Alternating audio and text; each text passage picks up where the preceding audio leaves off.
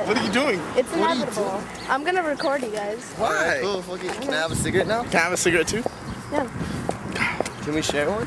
You guys have to do something entertaining for the camera. Dude, you just missed us dancing. Yeah, we were dancing and shit.